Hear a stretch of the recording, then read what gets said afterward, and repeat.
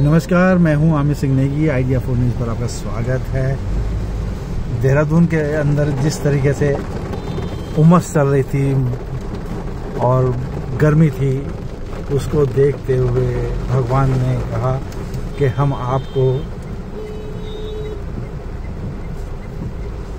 ठंड का एहसास कराएँगे। इसीलिए उसने बारिश का प्रावधान कर दिया और बारिश कर दी है। इस समय मैं हूँ सर्वे इंडिया के सामने सर्वे चौक पर, जहाँ पर आप देख सकते हैं कि बहुत अच्छे से बारिश का जो है, बारिश हो रही है और लगातार बारिश होने की संभावना बनी हुई है। वैसे तो आपको मालूम ही है कि उत्तराखंड में लगातार भूस्खलन की सूचनाएँ उपलब्ध हो रही हैं। कई लोगों का घर उजड़ गया है, कई लोग लापता हैं, कई लोगों का देहांत हो चुका है।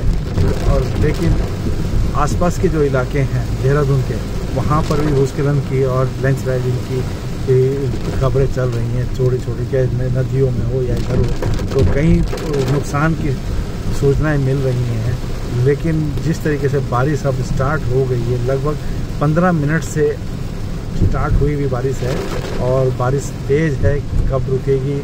जो गर्मी थी, वो गर्मी का थोड़ा सा एहसास कम हुआ है और लगता है कि अब जो है कि थोड़ा सा मौसम बदल जाएगा, क्योंकि मौसम विभाग ने लगातार मौसम बदलने की सूचनाएँ उपलब्ध कराई हैं और अलर्ट किया है कि आप लोग जो हैं इस इस दिन तक सुरक्षित स्थानों पर रहें, जिससे कि आपको कोई परेशानी का सामना ना करना पड़े। तो मैं हूँ अब द्वारका स्टोर पर आ गया हूँ और द्वारका स्टोर से आप देख सकते हैं कि किस बात कितनी बारिश है। बारिश ऐसे हो रही है कि बहुत तेज़ बारिश है। वैसे तो पूरे देहरादून के अंदर इस समय जहाँ तक मुझे सूचना मिली है कि पूरे देहरादून और ये आपका हाईवे पर डोई वाला भानिया वाला और सभी ही जगह पर बारिश बनी हुई है, बारिश हो रही है और कहीं कहीं कम हो रही है, कहीं ज़्यादा हो रही है। तो इसको लेकर हम आए हैं आपके साथ, आपके सामने।